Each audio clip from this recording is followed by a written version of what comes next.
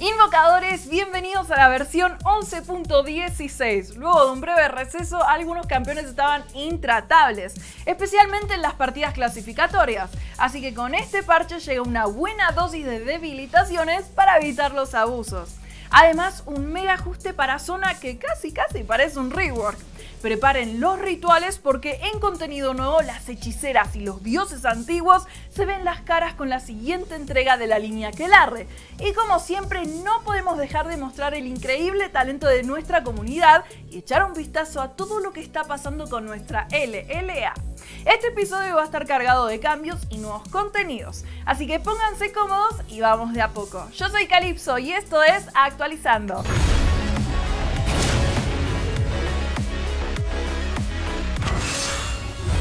Willump hace rato que no son una opción frecuente en nuestras partidas.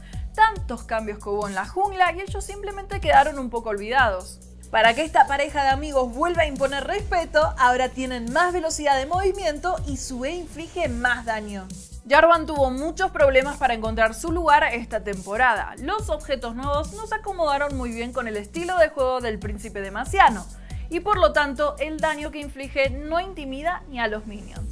Para ayudarlo a regresar a donde pertenece, con esta versión incrementa el daño de su pasiva y la tasa de crecimiento de daño de ataque de su definitiva. Vladimir está en modo super estrella en el carril central, o por lo menos puede aguantar tranquilamente hasta llegar a su juego tardío. Pero cuando tiene que irse al carril superior, la historia es muy distinta y rara vez logra sacar ventaja. Para que pueda darle pelea a sus rivales en top, de ahora en adelante incrementan la tasa de conversión de poder de habilidad a vida y de vida a poder de habilidad de su pasiva. ¿No extrañan un poco ver a Jin en partidas clasificatorias? Ese cuarto básico que tanto intimidaba y la presión de su ulti en peleas de equipo. Veamos si con este fortalecimiento es suficiente. Por un lado se aumenta el daño de su W y por el otro la tasa de crecimiento de daño de ataque de su definitiva. Y pasando a las debilitaciones, en la jungla Diana encontró un segundo hogar. Y de hecho le fue tan pero tan bien que otros jungleros tienen demasiados problemas para seguirle el paso. No pueden negar que la velocidad con la que limpia los campamentos es brutal. Para que los enfrentamientos con esta Lunari sean más parejos, se reduce el daño que inflige su pasiva a los monstruos de la jungla. Parece que las debilitaciones recientes no tuvieron el menor efecto en Lee. Este monje ciego sigue aplastando rivales sin importar la línea en la que se pare. En un veinteado intento para darle una oportunidad a sus rivales, con esta versión se reduce el omnivampirismo de su W y que así Lee no tenga tanto dominio en el juego temprano y juego medio. No los quiero alarmar, pero hay un pequeño monstruo dando vueltas en la grieta. Por si no lo notaron, Fiora tiene un nuevo juguete favorito llamado rompecascos, con el que tira torretas como si fueran de papel. Para darle un respiro a la partida, ahora la E de Fiora tiene más enfriamiento. Desde hace rato Tam Kench le dijo adiosito al carril inferior y lo encontraron como una joyita en top.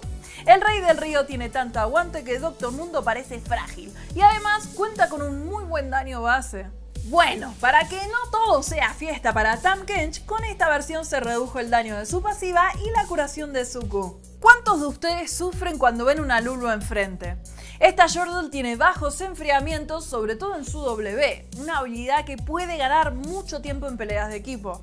Para que tenga que hacer un uso más estratégico de sus habilidades, ahora no solo incrementa el enfriamiento de su W, sino también de la definitiva. Los retoños de Maokai son su mejor arma cuando se va de soporte, sobre todo porque pueden controlar la presión en línea. Pero cuando tiene que ir jungla o top, a este protector de la naturaleza le hace falta aguante y recursos para defenderse. Desde ahora se reduce el daño de la E, pero incrementa la curación de su pasiva. La ralentización de la E de Six es bastante fuerte desde el primer nivel de la habilidad, por lo cual este bombardero loco no siente ninguna necesidad de seguirla subiendo durante la partida. Para que el aumento de las habilidades de Six tenga variables según la partida, incrementa el mana básico del campeón y el daño que inflige la E, pero disminuye su ralentización. En juego temprano, Karma puede dominar cualquier línea gracias a su gran daño y utilidad, pero a medida que avanza la partida, su participación termina siendo un poco irrelevante. Para que el rendimiento de Karma durante la partida sea más balanceado, Con esta versión se redujo el daño de Suku, pero también su costo de mana, además de que se incrementó el enfriamiento de la habilidad. Acá no se termina el ajuste, atención con esto. Al utilizar mantra, su daño va a ser mucho mayor incluso que antes. En el caso de su E, incrementa el escudo base, pero la velocidad de movimiento se reduce. Y mucho cuidado, porque al utilizar esta habilidad con mantra, la velocidad de movimiento se reduce aún más. Las versiones vienen y van, pero para Zona la vida sigue siendo igual, lejos del meta y cantando canciones solita porque nadie quiere jugar con ella. Para que la grieta se vuelva a alegrar con su música y los rivales teman cuando la escuchen, comenzamos con un cambio total a su pasiva. Ahora sus habilidades podrán entregarle una carga que le dará aceleración de habilidad a todas las habilidades excepto la definitiva. Cuando Zona logre juntar 60 cargas, la siguiente reducirá el enfriamiento de su ulti. Su Q, W y E costarán menos maná y cada vez que curen a un aliado o dañen a un enemigo, Zona obtendrá una acumulación de su pasiva. Con la definitiva, cada nivel ya no reduce el enfriamiento del resto de sus habilidades, pero ahora golpea a súbditos y a monstruos además de campeones. Zona, bienvenida de vuelta a la grieta. Comprar sello de la oscuridad era una apuesta segura debido a sus excelentes estadísticas y bajo costo, sobre todo para asesinos. Para que el riesgo de perder estas recompensas sea mayor, se reduce el poder de habilidad de cada carga y aumentan las acumulaciones que se pierden con cada muerte. Redención está quedando en el olvido debido a otros objetos de soporte más eficientes. Para que vuelva a ser opción, se aumenta la curación que realiza y se reduce el enfriamiento de la activa.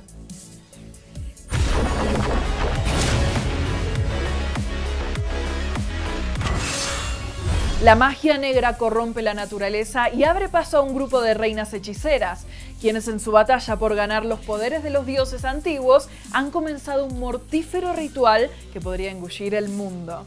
La primera de estas mortíferas brujas es Ash, quien bajó de las heladas montañas del norte trayendo consigo el poder espiritual de su tótem, una oscura cabra de las montañas. Cuando caza, sus flechas heladas cortan el aire y casi de inmediato se clavan en el corazón de sus víctimas. No importa que su presa parezca estar fuera del alcance de su arco, Ash puede comandar a un cuervo para localizar a su víctima y acto seguido disparar una flecha mágica para corromper la amenaza. Conocido en viejos días como el Padre Lobo, Warwick celebra sangrientas cacerías cada noche de luna llena, hasta que la Orden del Eclipse lo derrotó en batalla.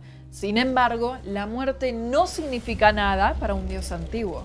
Las garras de Warwick buscan pintarse de rojo una vez más. Dominado por una implacable sed de venganza, Warwick espera en las sombras la oportunidad perfecta para atacar a la Orden del Eclipse. Y esta vez ni siquiera huir será una opción para sus enemigos, ya que una vez que este dios lobo prueba la sangre en batalla, no parará hasta quedar satisfecho. Casiopeia entregó su alma al espíritu de la cobra de plata a cambio de poder, y ahora la hechicera caza a los nobles que se atreven a aventurarse en el bosque solo para divertirse con sus muecas de terror, petrificados justo antes de morir. Una vez que la batalla contra Casiopeia comienza, las oportunidades de salir vivo son casi nulas. Ya sea que esta bruja ataque con su poderoso veneno o proyecte en un abrir y cerrar de ojos sus colmillos de serpiente, el destino del transgresor está sellado. Los ojos de la cobra brillan en la bruja y su mirada petrifica a cualquier príncipe o rey. El cadáver será un adorno más en la colección de estatuas de Casiopeia. Ari es una bruja de las tierras salvajes del oeste, dedicada a servir al espíritu del chacal. Para traer a su dios de regreso a la existencia, Ari absorbe la vida de sus oponentes y con ellas alimenta el cráneo del chacal, encerrado en su esfera. El poder oscuro flota alrededor de Ari como si fueran fuegos fatuos, y una vez que el oponente está debilitado, su esfera mortal se aleja y regresa a ella para terminar el trabajo. Ari es tan astuta como el espíritu a quien ha entregado su alma, y ni siquiera otras reinas hechiceras han estado cerca de capturarla antes de sentir que les falla la fuerza y se les nubla la vista. Cuenta la leyenda que Malphite aparecía ante los mortales en forma de una enorme y oscura cabra de las montañas. Cuando la Orden del Eclipse lo derrotó, la muerte no pudo contenerlo pero la montaña lo hizo suyo. Ahora que el dios antiguo camina de nuevo, son las mismas rocas de la montaña las que se mueven impulsadas por su odio para llenar de miedo el corazón de las hechiceras que han decidido adorar a otros dioses, Malphite hace retumbar la tierra y luego invoca afiladas rocas de sus puños para ejecutar a los infieles. Este mundo no es suficiente para albergar a ídolos falsos y la furia de Malphite es bastante grande para acabar con todos ellos. Evelyn es producto de la unión profana de una mortal con un dios antiguo, heredando la ambición de los humanos y el poder de los espíritus. Evelyn recorre los cuatro puntos cardinales para unir a sus hermanas y traer a los dioses antiguos de regreso a la vida. Su apariencia engaña a sus enemigos, y para cuando estos se dan cuenta que enfrentan a un ser de poderes demoníacos, por lo general ya es demasiado tarde. Capaz de fundirse en las sombras, Evelyn aguarda la oportunidad para dar el golpe final. Lo último que sus enemigos ven son los ojos carmesí de la bruja, los cuales se funden poco a poco con su propia sangre, y al final les llega la muerte.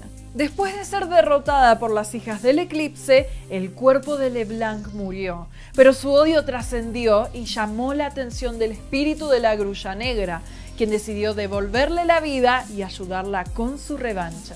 Con la misión de preparar el mundo para el regreso de los dioses antiguos, el poder renovado de LeBlanc destruye cualquier resistencia usando sus hechizos de dorado y cobrizo resplandor. LeBlanc no está dispuesta a ser derrotada de nuevo, así que si tiene que usar sus cadenas etéreas contra sus propias hermanas, esta maquiavélica hechicera no dudará ni un segundo.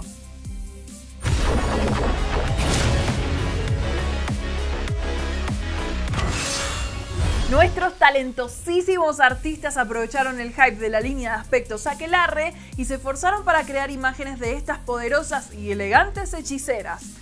¿Quién creen ustedes que estuvo entre los diseños favoritos? No hay ninguna sorpresa. Siempre que Ari recibe una skin, el internet se vuelve loco. Y esta ocasión no es la excepción. Comenzamos con el impactante estilo de Ángel Cruz, quien nos trae una Ari aquelarre que nos mira de manera misteriosa y cautivadora, seguramente planeando algún hechizo maligno para ofrecérselo a su dios chacal.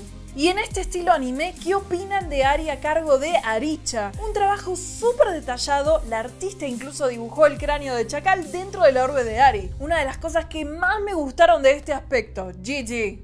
Bueno, es justo decir que no solo Ari llamó la atención de los ilustradores latinoamericanos. Evelyn compite de cerca por ser la favorita del momento. Y como prueba, acá la imagen de Bunny Brownie. A pesar del rostro inocente, la mirada delata las malignas intenciones de Evelyn. Y como nos encantan los videos en donde los artistas nos dejan ver su proceso creativo, cerramos la sección con Yukita Rain y una preciosísima Casiopeia, mi aspecto favorito de toda la temática. El talento que tienen es impresionante y amamos mostrar sus trabajos como no tienen idea.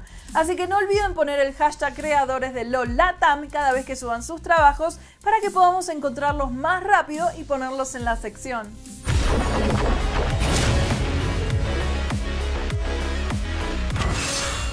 Fanáticos de la LLA, qué torneito de clausura el que estamos viviendo, ¿eh?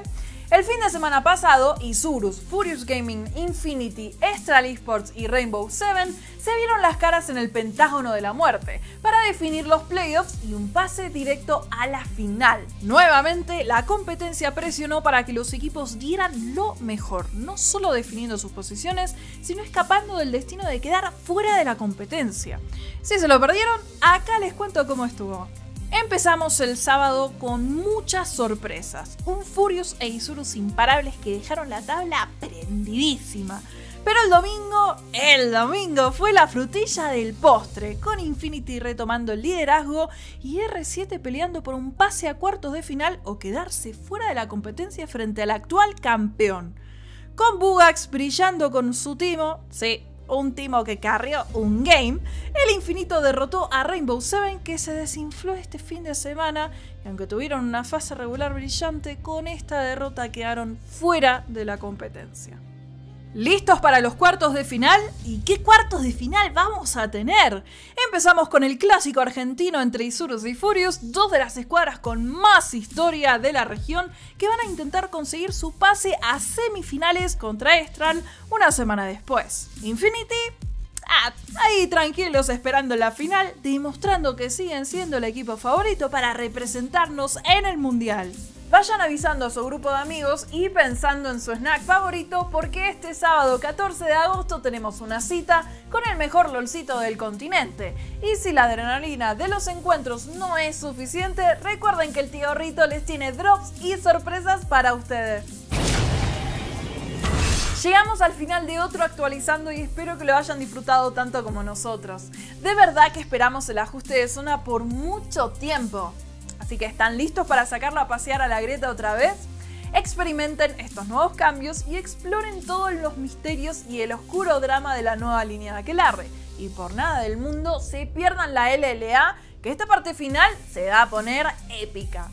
Les mando un abrazo enorme a la distancia y nos vemos la próxima. Yo soy Calypso y esto fue Actualizando.